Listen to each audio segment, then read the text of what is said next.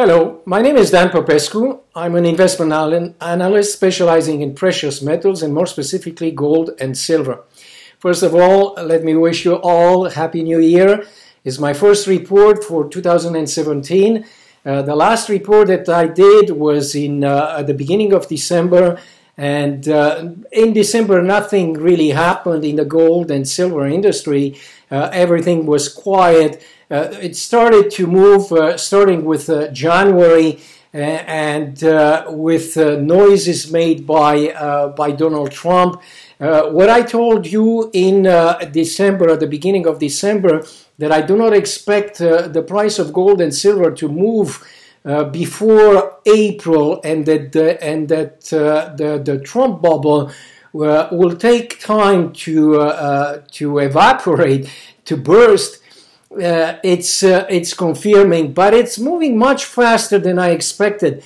Uh, Donald Trump uh, seems to be somebody who is very controversial. He likes to uh, to uh, to to govern, to to do business by conflict. he's a bully, no question about it. This is the way he he negotiates. This is the way he has been since his entire uh, adult life. I've been following Donald Trump since uh, 1980, and I'm not I'm not at all surprised in uh, in the way he is uh, uh, conducting himself uh, right now. It surprises a lot of people. It doesn't surprise me. It's exactly what I actually expected from him. it's it's very important to analyze Donald Trump because uh, it's uh, it's a major country, United States, and it has been the country of the de facto currency of the world since 19 uh, since the collapse of Soviet Union and and actually uh, I would say since the collapse yeah so the uh, collapse of Soviet Union we had a, a period in 1971 when Nixon took uh, the dollar off the gold standard uh, gold continued to have some impact and importance in the international monetary system. It faded in the background, uh, background when in 1980 the dollar started going up again. And from 1980 until about 2005, uh, 2008, we've been in a de facto uh, uh, dollar, US uh, dollar standard that dominated. Uh, from uh, 2008, things have changed, and the dollar ha- has started to lose its uh, uh its importance as the foundation of the international monetary system. And you can see on a chart, I put it on my Twitter account, a chart of uh, the change in uh, gold reserves by central banks around the world, which have been going down since 19, about 1965 constantly. That drop stopped in 2008 and reversed. Up to now, in 2016, we recovered about 60% of the drop in reserves, global uh, uh, central bank reserves, gold reserves, uh, about 60% of that drop was recovered. And I expect the next part that will bring us to the same level that we were uh, about uh, in 1965. Uh, uh, it's going to be much faster. I expect about 3,000 to 5,000 tons to be bought by central banks. And what makes me believe that is that even people who are very anti uh, anti-gold, if you want, uh, the economic profession who does not believe a return into the gold standard uh, uh are really uh, uh, a little bit hypocritical or they, they, they contradict each other because on one way they want gold out uh, and they don't want gold to be a, a, a currency, but uh, in another way, uh, or money more, more correctly, uh, they recommend that central bank buy gold.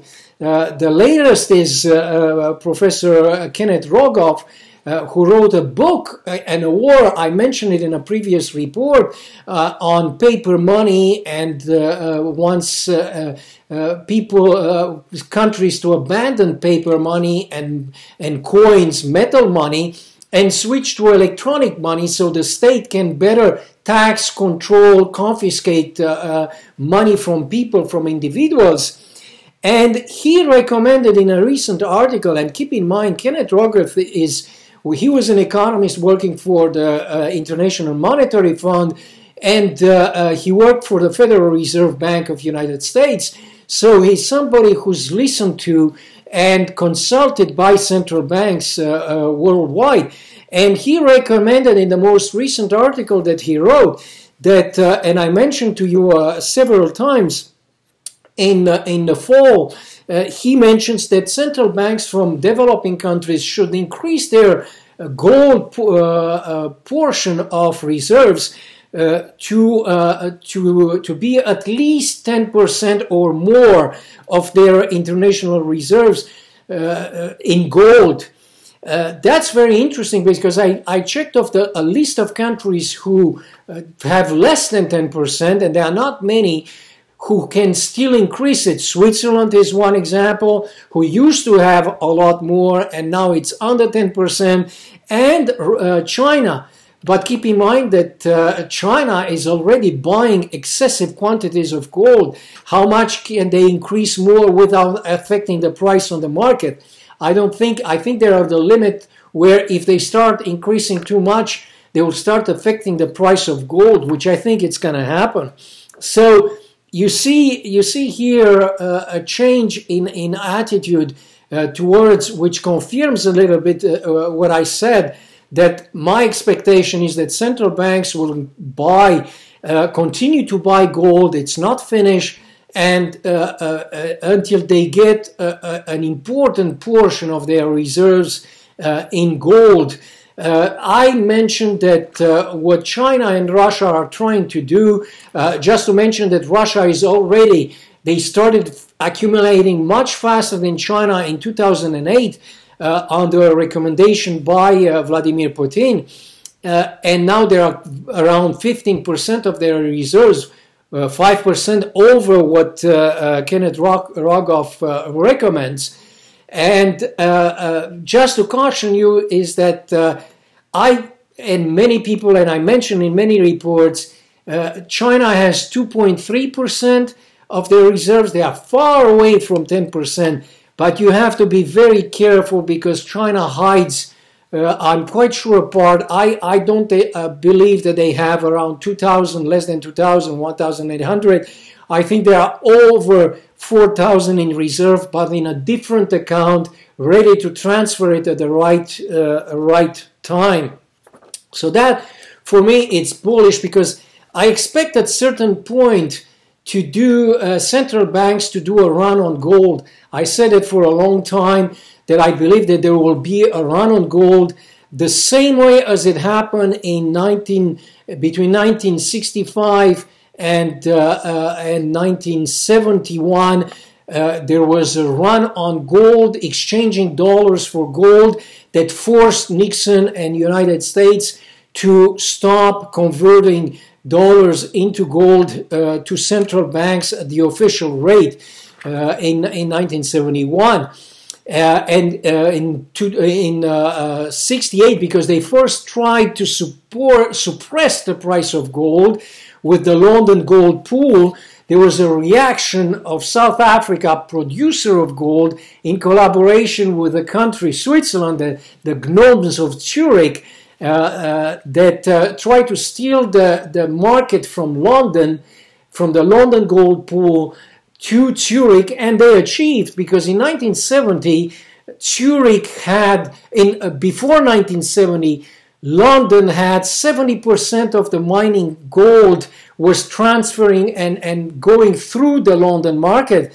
And by 1970, Zurich had 70% uh, of the mining world global uh, uh, mining in uh, gold was going through uh, Zurich. So the gnomes of Zurich re, managed to defeat the, the cartel, if you want, the pool, the London pool of central banks. The Zurich pool was, the London central pool was government controlled by Western central banks, European mostly, and North American, and the uh, Zurich pool, which was mostly the three big uh, uh, private banks of Switzerland, Credit Suisse, Union, the Bank, Union Bank of Switzerland, and uh, uh, Swiss Bank Corporation, and with uh, the mining industry in South Africa together, a little bit the, the, South African government. And they managed to break the London pool, government uh, controlled pool,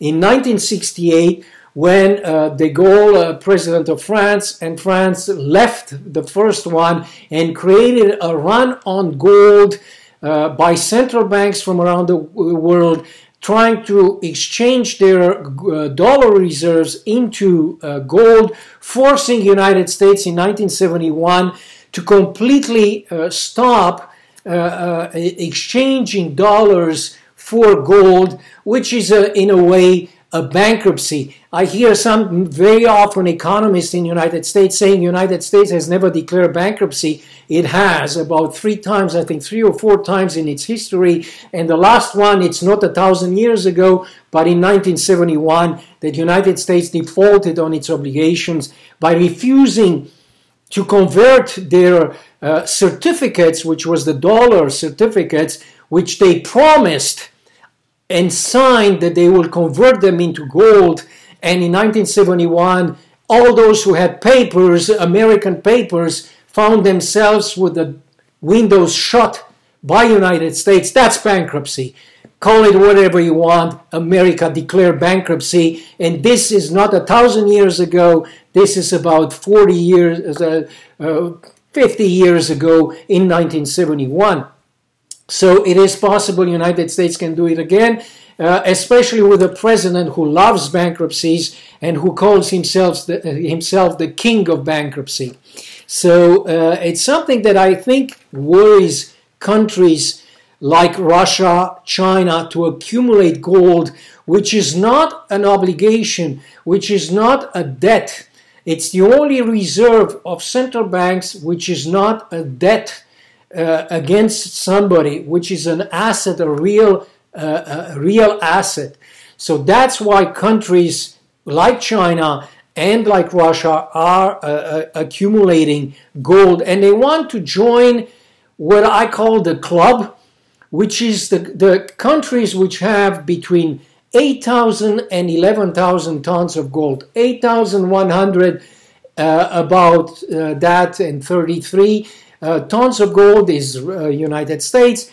The Eurozone, European Union has about 11,000, uh, more than 11,000 uh, tons of gold. So both China and Russia are trying to achieve uh, a level of around 9,000 to join, to be in equal footing with the European Union uh, and with the uh, United States. To a certain extent, uh, in a different way by uh, by uh, monetizing the, the private gold in India because keep in mind that India has one of the largest stocks of gold uh, uh, it has almost, uh, central banks have about 17%, 17, 18%, let's say about 20% of all the gold that has ever mined, been ever mined above ground. It's central banks and in private and, uh, and temple hands in India,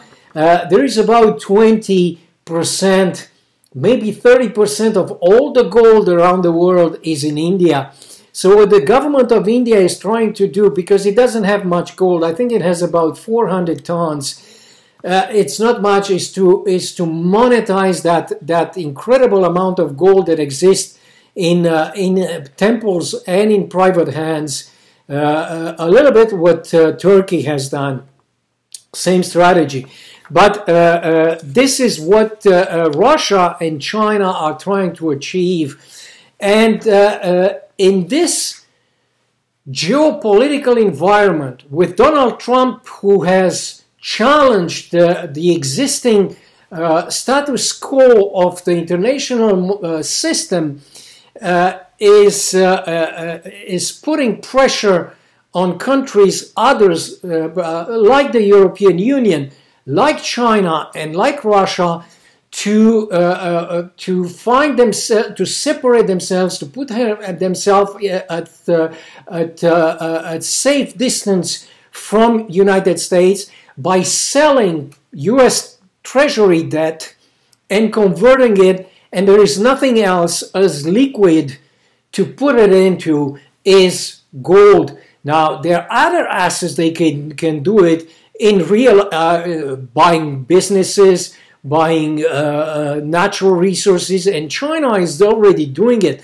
But that has also limitation, and the most liquid asset that they can buy is gold, and that's what the, both China and uh, uh, Russia are doing because they are worried with Donald Trump that that, that he might bank, uh, declare bankruptcy uh, in some form or another, call it whatever you want, uh, uh, uh freeze assets. And economists and many people are saying, hey, the Chinese can't touch America. We can always freeze their assets in United States. So the threat is there. And it's not only talk because they've done it with, with Iran 30 years ago. They freeze the assets of, uh, of Iran. So it's not something that uh, United States has never done. So I'm making, uh, I'm making uh, uh, imaginary attacks against United States reputation.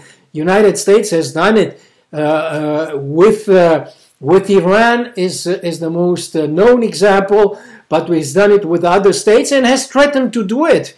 Uh, and uh, uh, uh they can do it. So uh, that, that puts pressure on China and Russia, especially China, and especially that, that Donald Trump has clearly indicated that he is ready to, make, to, to, to go to war with a, a trade war with China. United States has a trade deficit. Uh, with most of the world. But the biggest trade deficit they have is one with China and second with the European Union. So expect uh, uh, Donald Trump to, uh, to attack those two areas, and he has expressed his intention. Now, his strategy against the European Union was is to break up the European Union. His best advisor and the closest advisor, Mr. Bannon, uh, has a, a, a political movement that has already installed itself in UK and is expanding in France. I think they hired uh, the, the, the, niece of the uh, far right uh, national, uh, national Front political party of uh, Marine Le Pen. her niece was hired by the far right American movement of Bannon uh, to be uh, to work for them. And uh, they're opening a, a, chapter, a branch in Germany for the elections in Germany to fight Angela Merkel with the uh, uh, the far right party in Germany. So uh, they already have a strategy to interfere in European elections uh, very bizarre because Americans are complaining that the Russians interfere in uh, in the European uh, in American elections. Uh, uh, Mr. Bannon and Donald Trump make no no they're not hiding their intention to do everything possible to break up Europe into pieces. That's the strategy, and it's the strategy that it's been Donald Trump's strategy. deal with a weak uh, par, uh, uh, adversary, weaken the par, uh, adversary, divide him from his uh, partners, and splitting Europe and negotiate with Germany, with France, with Italy separately. This way, you you negotiate in in a position of strength, while Germany negotiates in a, a position of weakness. And we've been we've seen this strategy uh, when Mr. Ross, the, the Secretary of State, future Secretary of State of Donald Trump of Commerce, said, "Yeah, we we like and we want a partnership with UK, but as long as it's in the advantage of United States." So they have no intention of give any favors to uh, to UK. Uh, they want UK split from Europe, but uh, at a disadvantage uh, with uh, advantage USA uh, privilege to United States. So that is the strategy with Japan and it's the strategy to with Europe splitting Europe into pieces and it's the same strategy that they have with Russia split Russia from China China economically is much weaker alone uh, and that will make uh, at least that's the, the, the theory of the uh, of Donald Trump and his uh, team, uh, Mr. Bannon, is that we will manage uh, Vladimir Putin once he is split from from the support from China. So it's the Nixon strategy where where he split it, Russia from from China so he's trying to do the same strategy and he's trying to repeat the strategy of uh, uh, Ronald Reagan. Uh, uh unfortunately for him, he doesn't have the same environment conditions that uh, Ronald Reagan had. Uh, the market was at the bottom at that time. The Cold War was still going on, so about two thirds of the world was not consuming. It was shut down. I lived 14 years under that uh, that uh, uh system. Uh, we're closed. We're not consuming any products. Uh, all the natural resources were only consumed by Western Europe. In other words, half of Europe, North America, and Australia, Japan. Since 1990, we have China consumers. We have Russian uh, consumers. India has opened it was not shut completely, but still very uh, closed in a way. So uh, now you have about 60% of the world competing with the United States and Western Europe, which uh, did not exist. So Donald Trump has a different environment uh, than he had. Repatriating jobs, as Donald Trump promises, even if the jobs leave, the, the, the, uh, the manufacturing jobs leave China, they will not come to humans in United States. Uh, I paid the price, and my, my colleagues who finished university in the 1980s with engineering, physics degrees, chemistry degrees, uh, we came at a time where there was a war on the on the blue collar jobs, manufacturing jobs. All those jobs were lost in 1980, and contrary to what Donald Trump believes, uh, uh, they were not stolen by China. They were stolen by computers, by robots. Manufacturing went robotics in 1980. So all of our uh, uh, uh, graduates in, in, in physics, in, in chemistry, in engineering, mechanical, aeronautical, electrical engineering, we found ourselves and all the blue collar jobs in plants being stolen, taken away from us to robotics. Now, how did the job get into China? Well, in 2000, after the breakup of the Soviet Union and the opening of China, China stole the jobs, but they didn't steal the jobs from human North Americans. We lost the jobs in 1980 to robots. The Chinese with slavery jobs, low, very low paying jobs, and Indians in India with the call center, they stole the jobs from uh, uh, computer uh, software industry in California. Those kids who used to make a lot of money writing software, all those software jobs went to call centers, uh, to software uh, uh, offices in Bangalore, in, in India, and later in China, the, the Chinese stole the manufacturing jobs from the robotics.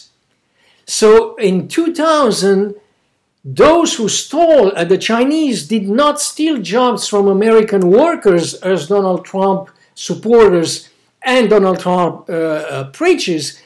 The, the one, China stole the jobs from robots. So when when uh, uh, Walmart and all those companies in United States, in Boston, when they shut down their plants, actually they they fired, they put on unemployment, on lockout, robots, not American workers, and they were replaced by labor, extra cheap labor, slavery labor in China. So uh, if jobs comes back to United States, they will come back to cheaper.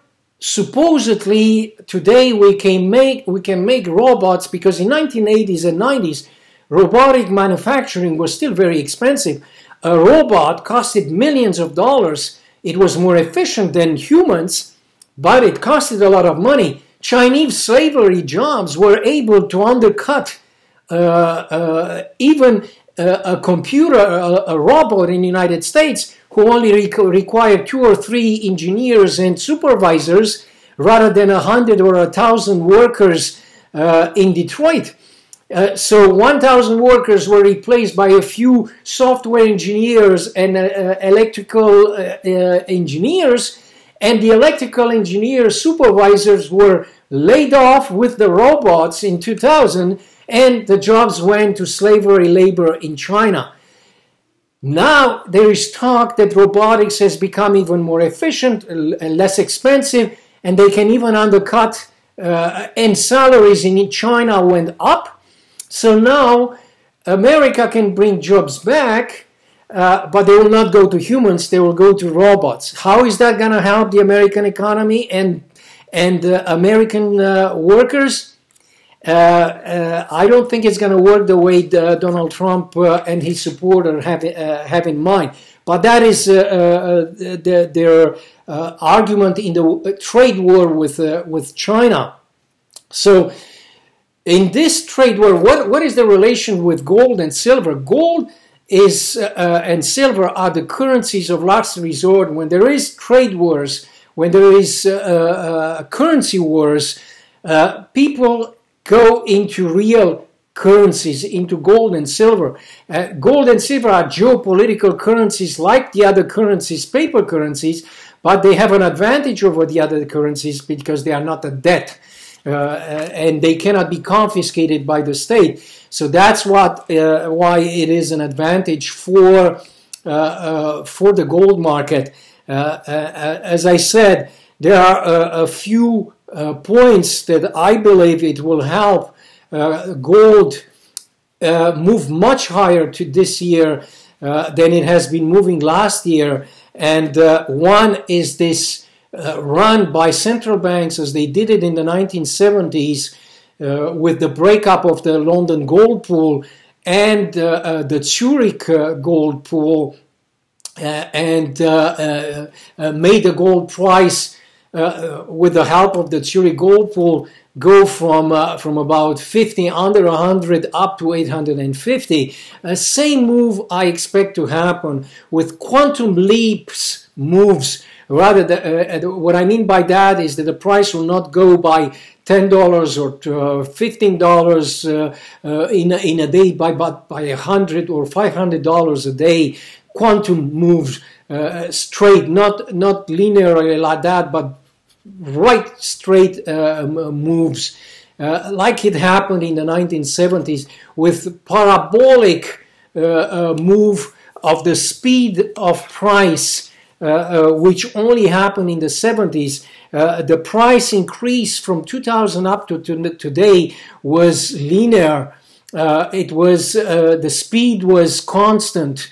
Uh, what I expect is that the speed of price to be uh, uh, accelerating. In other words, acceleration increase uh, in price. I wrote about that in, on a few uh, articles. Now, if you want to know about what's the difference between the London Gold Pool and uh, the Zurich Gold Pool, I also wrote about three months ago two articles uh, uh discussing and describing those two pools and how the uh, situation resembles and it could come back uh, again. in the next bull market in the price of gold and, and, and silver. Another, another positive for gold and silver today it is this geopolitical situation where uh, Donald Trump has chosen a situation of uh, uh, a strategy of conflict with everybody and negotiating separately with each one. He doesn't like international institutions like the International Monetary Fund. He's going to be very negative in in uh, have a, have a, ne- a very uh, negative and conflictual uh, approach to the G20 to the G7 uh, in uh, May and June. And in that environment I don't see uh, success for a global currency like the SDRs I see more an advantage to gold in that environment. Besides that, the team of Donald Trump and Donald Trump is also very pro gold, con- uh, contrary to previous administrations. Uh, uh, he's much more favorable. Uh, the Russians are favorable, the Chinese are favorable to gold, and uh, uh, European Union also is very, very pro gold. the fact that they have more gold than even United States, and they never sold those gold reserves. shows that in, in, in the new negotiations, with a lot of conflict rather than consensus. Uh, SDR requires consensus.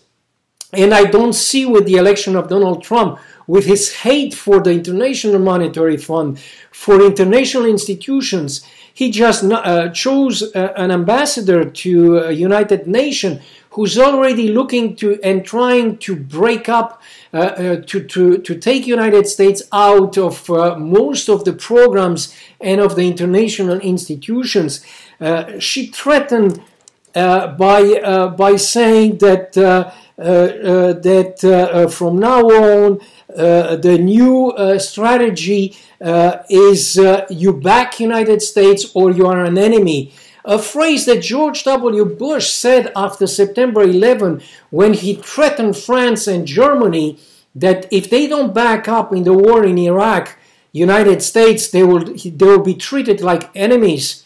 And Congress even went as far as the ridiculous uh, of trying to change the name of French fries in uh, the cafeteria in Congress. Uh, uh I forgot the name uh, uh, that they wanted to change it from French fries to revolutionary or or national fries or something like that. It was ridiculous, but it showed it. And the new ambassador to the United Nations of the United States, she said exactly the same thing, uh, uh, saying that we'll, we'll keep a, we'll, we'll write a list of whoever contradicts us, whoever says a word against us, Whoever doesn't stay behind us and applaud us like a bunch of sheeps, they will be put on a list as enemies. She didn't say those words, but what that's what she means when she says, back us or we'll take names. It is very clear. The, the message is very clear of what, what she means uh, uh, she means by that.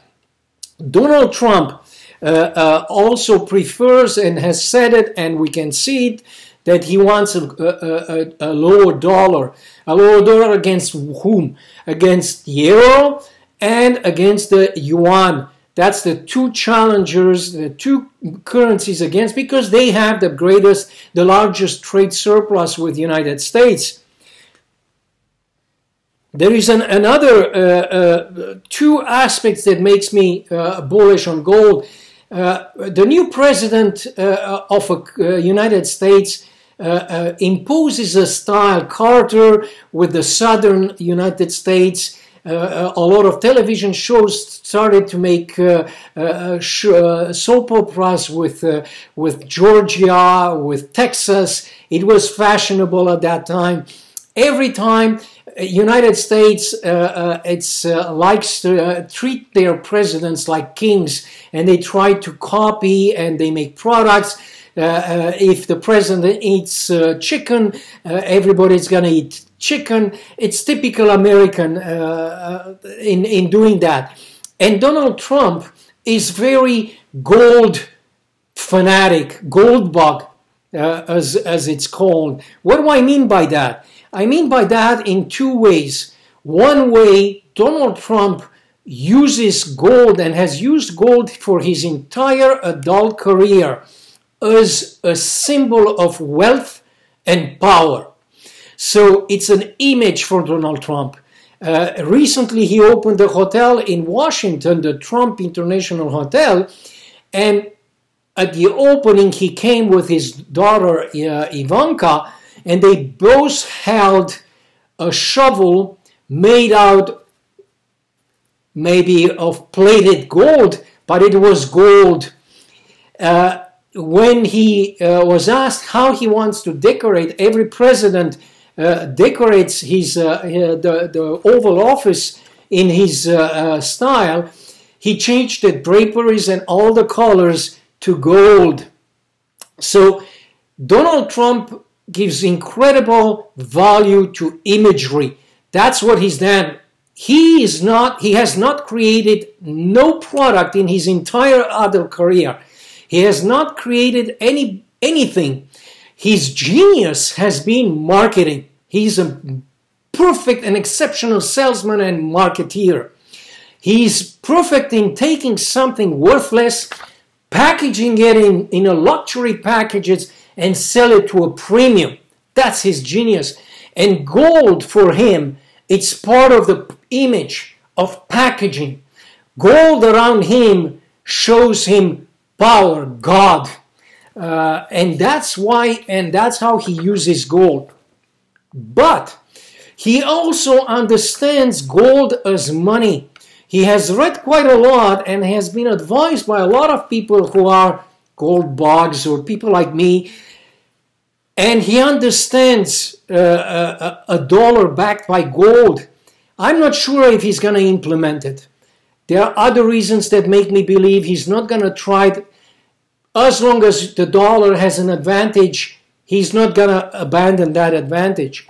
But he understands that gold is money, and his whole economic philosophy of the international monetary system is the one that I agree with and many people of a gold backed dollar. Okay? Not necessarily the, the unadulterated gold standard, which I like, which is one gram of gold, not any, any uh, fiat uh, value like the dollar, the euro linked to gold, which was the exchange standard before 1971, but a standard that there is where gold weight, one gram is the money, which is different from a gold exchange standard, which is a dollar certificate or an euro certificate exchangeable in gold. This is the type of standard that Donald Trump seems to prefer rather than the one because he still loves America first and the dollar is America. So he wants a dollar that dominates based on gold, not necessarily gold itself because he likes the image of gold rather than gold itself. At least that's my interpretation. But it is bullish for gold because he is somebody who will, uh, by imagery, by imagery, he's going to make gold fashionable. Making it gold fashionable, it's like uh, Paris Hilton, the Kardashian. Uh, Americans love to copy their superstar television superstars. So if Donald Trump uh, uh has uh, has a, a, hat over his head of a chicken, uh, Americans want to have a hat like a chicken. In Great Britain, you had the same thing with Prince Charles. When he was young, in his eight, age 18, 20, he was passionate of polo. And uh, polo became all of a sudden a sport that very few people in Great Britain were practicing. Nobody outside of the sophisticated, super rich, and not even super rich, but the sophisticated nobility, old nobility of UK was practicing polo all of a sudden it became every rich person has to play polo. Polo became a worldwide sport. It was popularized that. Uh, Diana popularized products, things like that. America uh, likes to follow a stars who's, who's making a, uh, uh, using a product. So Donald Trump will use gold for his advantage, but a lot of jewelry industry, uh, fashion industry will create dresses in gold, uh, dresses uh, or shoes in uh, uh, gold, and jewelry in gold. So rather than uh, silver or platinum, which were fashionable in the 80s, 90s, and more recently, you'll see a fashion in gold. At least that's my my analysis. So for that, Donald Trump is bullish for the gold jewelry, uh, uh, gold jewelry uh, industry. Another event that happened at the end of the year is the Sharia standard that accepted gold-backed products, not gold. A lot of people make the mistake and confusion that now Muslims have discovered gold as Sharia compliant. Uh, uh, uh, Mohammed recognizes gold, so that's good for the gold industry. That's completely false. Gold has been Sharia compliant for thousands of years.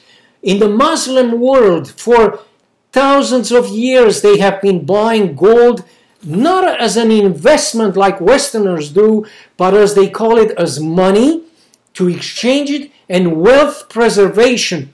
Americans cannot, North Americans can make not make the distinction between investment and saving.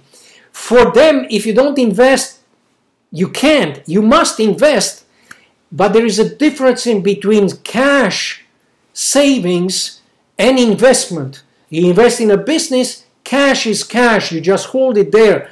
For thousands of years, Muslims have been storing profits they made in their life in gold jewelry, in gold.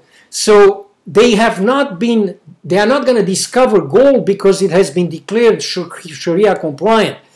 And the Muslim religion has already for thousands of years from the origin uh, in the Quran, uh, it is understood and, and they uh, accepted gold, gold, physical gold. What this gold standard does is that it recognizes certificates, paper gold, as we call it, electronic gold, uh, uh, uh, shares in mutual funds that buy gold. So, this is not going to increase very much the demand for gold, but it will have a positive effect on gold for institutional uh, investors in the Muslim world which now can buy paper products in their portfolio, but the global population of Muslims from Indonesia to Egypt to Morocco to Saudi Arabia, it will not change in their mentality, their love and understanding of gold as a saving instrument, not an investment, as a saving instrument. What Sharia rule does is making gold as an investment a potential uh, uh, argument to buy gold. So it's not negative, should not be ignored, but it is not as big as some people pretend. At least that's my interpretation. So that is another good uh, positive for the increasing price of gold this year.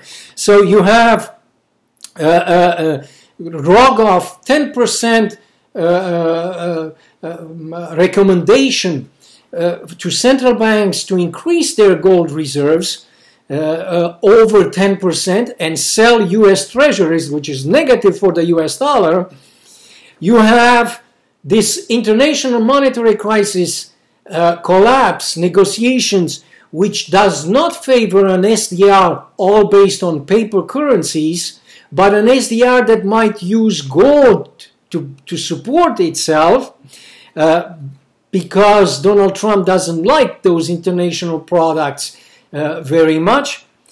Sharia gold rule, go, uh, Donald Trump's infatuation with gold as a symbol of wealth and as a symbol of power, his desire to devalue the, the, the US dollar to to improve the, the trade, the balance of trade of United States, not only against euro but against other currencies, and also the demonetization uh, uh, that has been going on in India should not be ignored because I think in, in a way it will fail. It will fail because the reasons behind this are false. They are not, the use of gold is not the cause of corruption in India. Corruption is the cause Indians use gold, silver, and anything but the banking system. Mr. Rogoff and others consider that gold is the cause of the collapse of, uh, of the financial system and that they, we should ban the use of cash. But the use of cash is, is a symptom of the problem.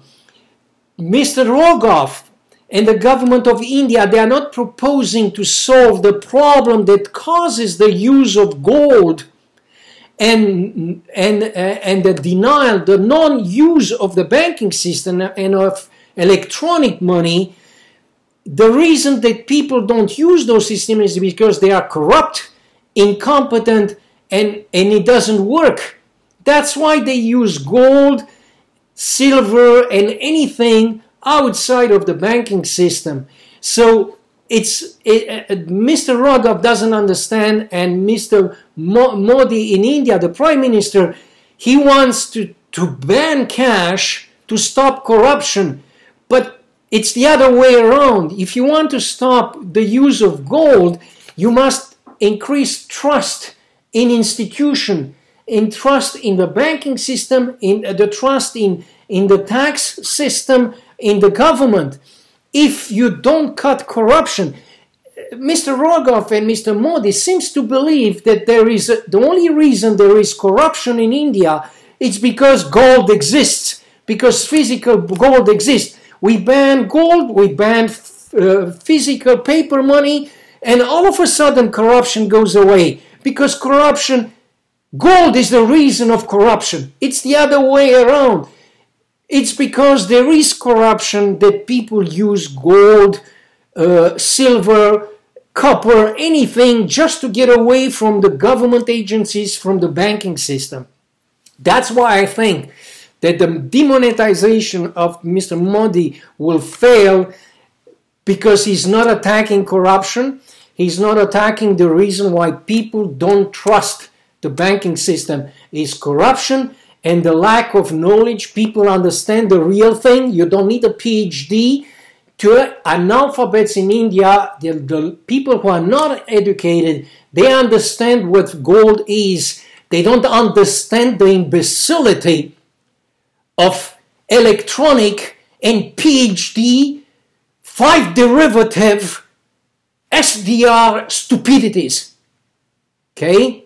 Every human being from a PhD to an analphabet knows what copper, what land, what hot water, what silver is. They don't understand what a triple integral designed equation by a Black-Scholes PhD, Nobel Prize in Economics, tells the whole world, I know you're an engineer, I know you're an Indian analphabet, but nobody, you're all stupid. All the economic PhDs have intelligence. And we need a mathematical equation designed at the Chicago School of Economics that only PhDs in economics understand. Because if I ask an economist what is an SDR, and if I ask him to give me the value of an SDR in two minutes, he can't. But if I ask an analphabet in India or in Egypt or in Chicago what gold is, he will tell me what it is. He will tell me what copper is. Okay? You don't need to be a PhD in economics with a super specialization in international monetary system to understand gold, water, bread, land. But even with a PhD in economics from the Chicago School of Economics, you can't explain a SDR. I've studied the SDR since the 1970s, And I can tell you that if you ask me right now what's the value of an SDR and how it is calculated, I can't. I need books. I need my papers to give you the exact value of it and how it is calculated. And it's only made out of five currencies today. It used to be 16 currencies. Why do you think in 1973 PhDs in economics and finance working for the central banks chose the US dollar rather than choosing the SDR, which was composed made of 16 currencies.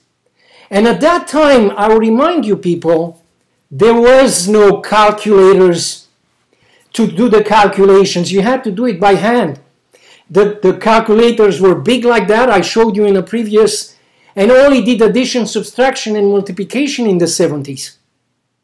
So no surprise that even PhD from the Chicago School of Economics working for the Federal Reserve said, I'm not touching a SDR because I will show how stupid I am. I would rather use the US dollar and still keep gold because that I understand. But don't tell anybody. I want I like to show people that I, I look intelligent. I'm stupid, but I want to, people to believe. I put Botox in my face like in Hollywood to pretend I understand, but I don't understand anything. This is why. This is the problem, if you want, with the SDRs. So Donald Trump seems to be of the old school like me. He understands gold. He understands the principles of gold, and he wants. Uh, uh, he's favorable to that, but he's in a conflict with. I want America to dominate, and for the moment, the dollar dominates. So uh, he would like something that supports the dollar and that everybody adopts again the dollar. That's my interpretation, at least. But in any case, this is bullish for gold uh, for next year. All those conflicts are, are, are bullish for gold. Uh, uh, another thing that I want to mention uh, is uh, all those uh, all those trade wars that you are starting to see. Uh, and there is a danger, unfortunately, they might end up in, in a real physical war, uh, war because the, the, the, the antagonism between the um, United States and China is quite big. Uh, it has not uh, gone away, and I expect it uh, uh, to amplify even more.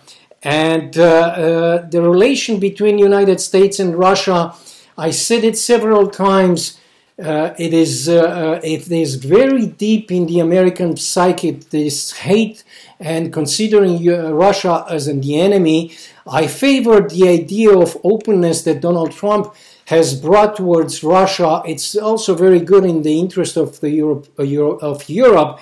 Uh, but there is the recent polls, the re- recent analysis, and not just polls, but interviews with Trump supporters with Republicans and Democrats. They are very, very anti Russian. There is this imagery that has been built for about 50, 60 years of uh, the bad Soviet, the bad Russian. And when I talk nicely about, uh, about Russia on Twitter, I get a reaction very often, and I'm accused what Americans like to call uh, Russians.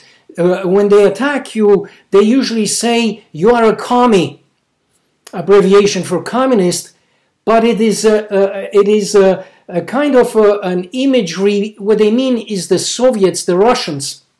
This mentality is still there. I am an anti-communist, a victim of communists, two grandparents killed by the communists, a brother killed by the communists, my father tortured by the communists.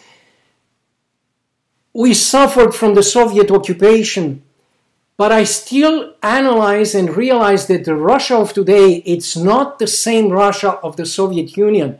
It's still authoritarian, and Putin still has its issues, but it is not the same. You cannot look at it as the Soviet.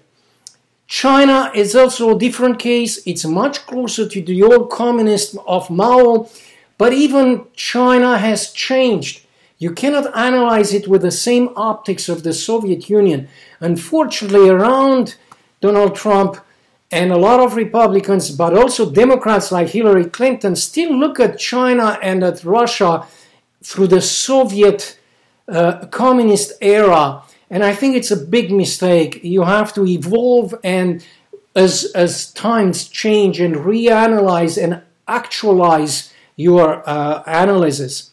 So I think that all those conflicts and situation, I think that this year is the year uh, in November, it was the end of the Pax Americana.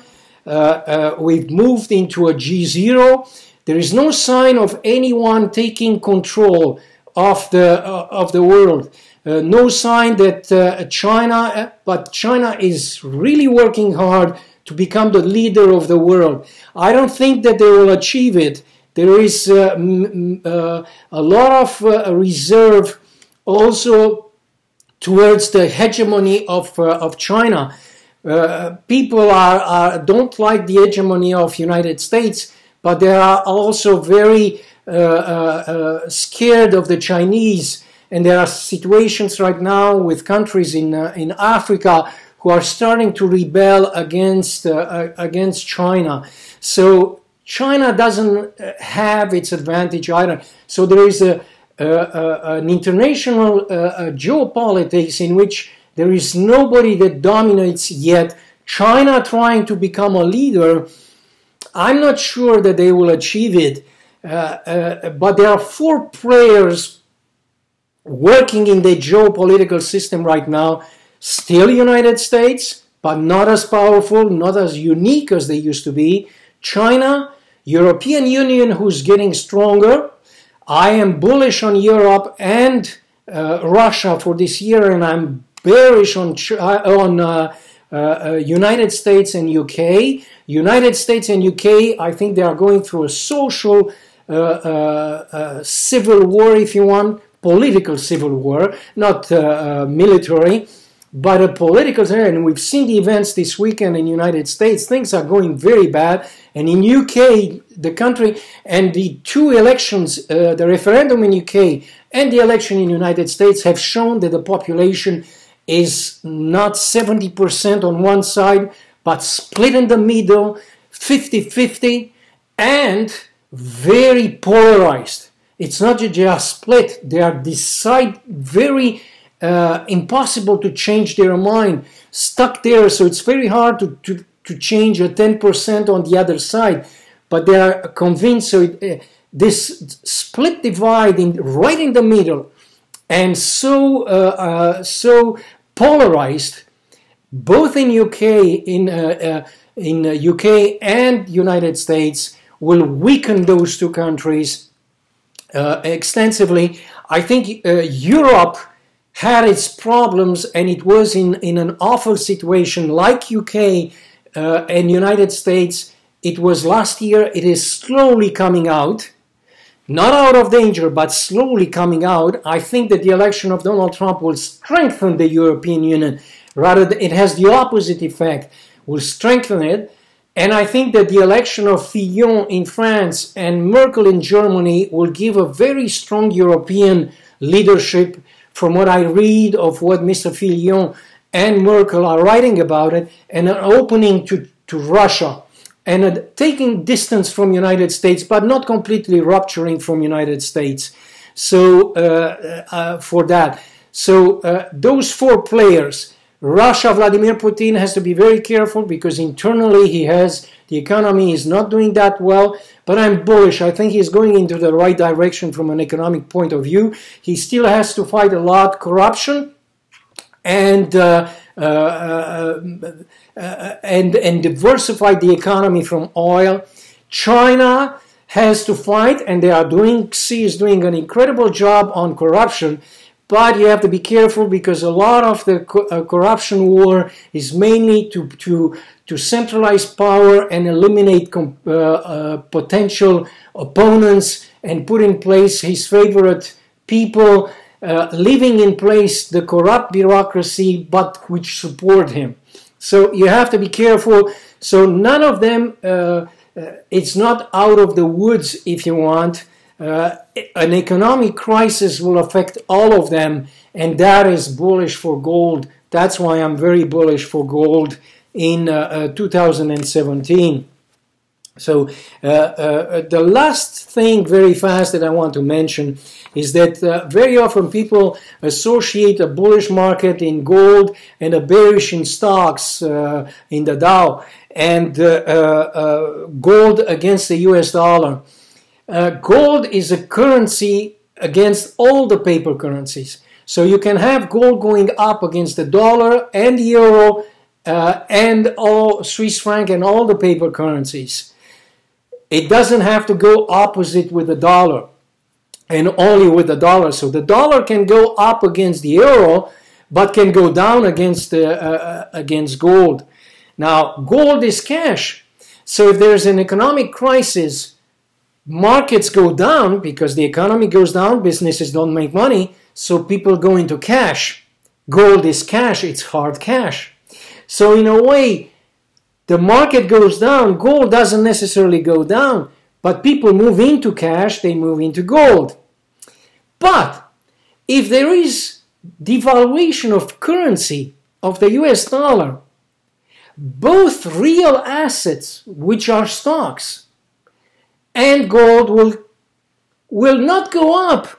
But because the dollar goes down, the unit of exchange of the dollar goes down, both gold and stock market will appear to go up. But in reality, they both stay flat. It's the dollar that goes down. So it is possible for the gold and real asset stocks to go up together versus imaginary cash, which is the dollar. Okay? So things are not as simple, they are much more complex. Okay, keep in mind. That's something that I wanted to mention because I hear very often people saying, uh, uh, how is it possible that the, the stock market goes up and gold goes up together, or the dollar goes up and gold goes up? Uh, it's it's because there is complex relation. There is an economic boom that makes people get out of cash, including gold, into real asset, into uh, producing assets like stocks. And there's a situation where the unit of exchange, uh, uh, the virtual unit of exchange, imaginary one, the dollar, the euro, and all that, loses its value. And in that case, real assets like gold, real estate, and stocks appear to go up, but in reality, they just stayed flat. Okay? So you mix them together and you get confusion. this is what I wanted to uh, to speak in this first report. Uh, it's going to be a, a, a year uh, very excited, a lot of uncertainty in the markets uh, because of all this situation. Uh, because uh, Donald Trump is a very unpredictable, not that unpredictable, but he's going to break the system uh, collapse the system. And when you do that, uh, you might repair it and rebuild it from scratch better, or it might end up worse than it was before. You don't know it. And that uncertainty is bullish for gold and silver, real assets, if you want. Uh, gold and silver being just the most uh, uh, marketable and the most liquid, but they are no different than land or a car or re real assets in general. Okay, so and we've seen signs of inflation coming back, especially here in Canada because of the devaluation of the Canadian dollar. Uh, but worldwide and Great Britain also the situation since Brexit.